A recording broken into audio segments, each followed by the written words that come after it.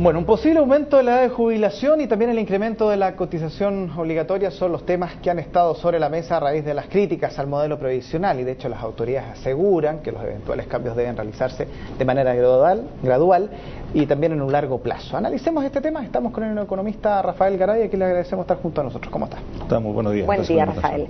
La edad actual de jubilación, recordémosle a la gente, 60, 60 años en el caso de las mujeres, 65 años en el caso de los hombres. Ahora, en promedio, si uno mira las cifras de la misma eh, asociación de FP, los hombres están en promedio eh, retrasando igual que las mujeres dos años más. O sea, 67 años y 62 años en la realidad. ¿Cuál es la lógica, perdón, de que los hombres se jubilen más tarde cuando sabemos que nosotras vivimos más que ustedes? Mira, la lógica con la que se construyó el sistema tiene que ver con que las mujeres también tienen un periodo de desgaste mayor por el tema de la maternidad. Entonces, eso hace que obviamente no lleguen eh, necesariamente bien al final de la vida laboral y por tanto hay un reconocimiento que aquí yo entiendo que es un reconocimiento como de la sociedad de afrontar como sociedad el tema de la maternidad. Hoy en día no, no sé si están así, pero ese fue el espíritu con el cual se construyó el sistema. Entiendo.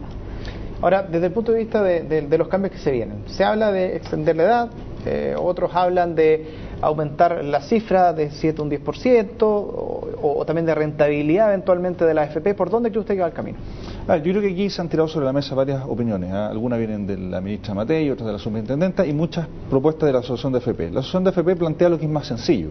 Dice, aumentemos el ahorro, o sea, el 10% de cotización obligatoria aumentarlo a 13, en algunos casos se ha planteado a 15, por un lado, y aumentar la edad de jubilación. Bueno, muy sencillo, si ahorramos más y la gente se jubila más tarde, bueno, sube las pensiones, no, no Pero requiere eso no mayor... implica ni un esfuerzo adicional por parte de las propias AFP. Yo creo que no. Ahora, por primera vez me gusta la declaración de la ministra Matei cuando dice la edad de jubilación no se va a tocar, no en este gobierno, no está planteado porque hay que entender algo y la ministra Mateo yo creo que lo entiende muy bien, y es que sobre 60 años en el caso de las mujeres, y también de los hombres, ¿eh? o sea, aumentar la jubilación no es ninguna solución porque el mercado te expulsa prácticamente los 55 años a un porcentaje importante de la población. Pensemos cuántos avisos en el diario el día domingo encontramos para mayores de 60 años. No, casi nada. La AFP incluso han llegado a, deslizar que esto aumenta a 67 años. Eso no entender el mercado laboral chileno y no entender la fuerte discriminación que sufren las personas que tienen más edad al final de su vida laboral donde sencillamente no son contratados.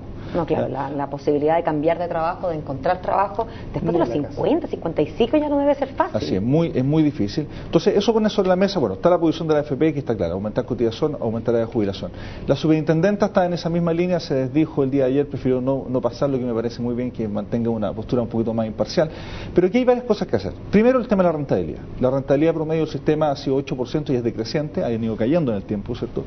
Eh, y, y para darle un dato a la gente si la rentabilidad promedio del sistema crece de 8 a 10%, una cuestión que nosotros como Felices y Forrado hemos probado que es totalmente factible y no requiere ningún tipo de, digamos, de sobreesfuerzo ni sobre riesgo por parte de la AFP, tú ya tienes una jubilación que aumenta en un 55%. Perdón, Rafael, pero tú dices que, usted dice que de 8 a 10% no requiere ningún esfuerzo. Algo debe requerir. ¿Cómo pasamos de 8 a 10? No, no será moviendo la nariz, digamos. Algo tiene que estar haciendo. Sí, esfuerzo, yo, gestión. yo creo que el tema de los portafolios de inversión, etcétera, que se construyen es débil. ¿cómo, ¿cómo, tú puedes eh, demostrar eso? Bueno, muy sencillo, porque la comisión con que tú remuneras a la FP, que es otro tema que es muy importante, es fija. O sea, la FP ha ganado 603 millones de dólares el año pasado. Hubiesen ganado esos 603 millones de dólares con una excelente rentabilidad o sin rentabilidad. Las zanahorias, entonces, los incentivos. los incentivos, a todo evento. Ya, lo, que el, tema del encaje y el 1% del fondo que pone la FP invertido en los, en los mismos multifondos no, ha servido de nada. Entonces, primero hay un tema de rentabilidad que, que hay que ver la ley, cuáles son las restricciones. Yo entiendo que hay restricciones para las inversiones de la FP y está bien que así sea, tanto de cuánto se invierte dentro como fuera del país, como los tipos de instrumentos, pero creo que hay mucho para avanzar y hay mucho espacio dentro de la legislación actual. O sea, el fondo A puede tener entre 40 y 80% de renta variable, entonces todavía hay un espacio para construir mejores portafolios. Como digo, nosotros en régimen, en Feliz y Forrado, hemos obtenido rentabilidad en torno a 5 puntos por arriba de lo que ha obtenido la FP. Eso significaría, tú con 3 puntos doblas la pensión. Entonces, obviamente hay un tema de rentabilidad, hay un tema de variabilizar un porcentaje de las comisiones, las comisiones son altísimas hoy en día. Para decirlo en castellano, el incentivo que yo tengo, si es que mi premio llega a todo evento, es como, eh, claro, en cambio, si me van a dar un premio por, por eh, rentabilidad, probablemente le pongo más empeño. Esa, esa, esa es la Perdón, eh, ya, a eso y el tema de incentivos. ¿Cómo se puede trabajar el tema de incentivos pensando en una posible rentabilidad o mejorar las rentabilidades? ¿Está, ¿Está dado todo el aparataje como para que los incentivos vayan en esa línea o se puedan cambiar un poco? Los incentivos absolutamente tú puedes hacer modificaciones que hace, a, ver, alineen los incentivos de los cotizantes con los administradores de fondos de pensiones. Hoy en día es impresentable que las, digamos, las comisiones permitan que las rentabilidades de los fondos de pensiones sean de la administradora sean 25, 30% al año sobre su patrimonio y la rentabilidad de los fondos sea un 6%, un 5%. Hay algo que no calza. Y los incentivos que están actualmente puestos, por un lado, no estimulan mayor rentabilidad porque la comisión es fija, pero por otro lado hay ciertas normativas que son tremendamente delicadas. Por ejemplo, La rentabilidad promedio de los últimos 36 meses de la AFP te da un promedio de todas las AFP. Si una AFP se descuelga de eso hacia abajo, es decir, obtiene dos puntos porcentuales menos, supongamos que la rentabilidad del sistema es 6 mm. y tu rentabilidad de los últimos 36 meses es 3, estás dos puntos, en ese caso estás tres puntos por abajo. En ese caso, la AFP tiene que poner los recursos y si no, el Estado tiene que poner los recursos y cerrar esa AFP.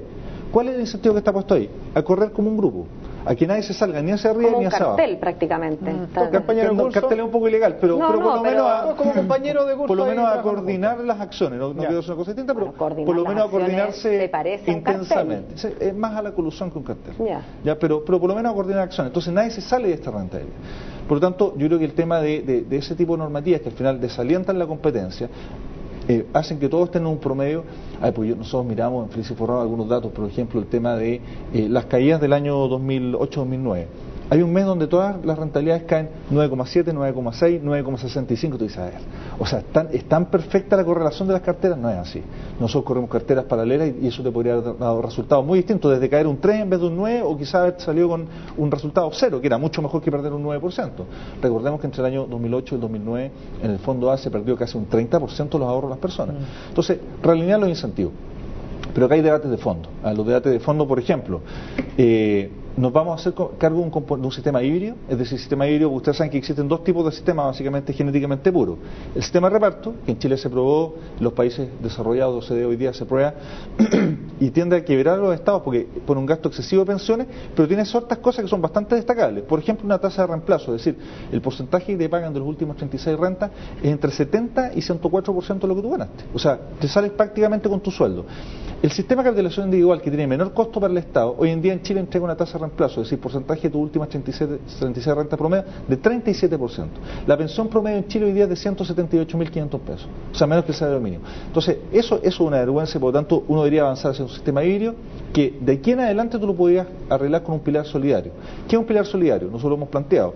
Tú abres una cuenta a cada niño que nace y la cuenta de FP la, nace, la hables al niño y el Estado deposita un millón de pesos. Cuando ese niño entra a la vía laboral, a los 22, 25 años cuando entre, ya tiene un gran ahorro. Tú solucionas prácticamente de raíz.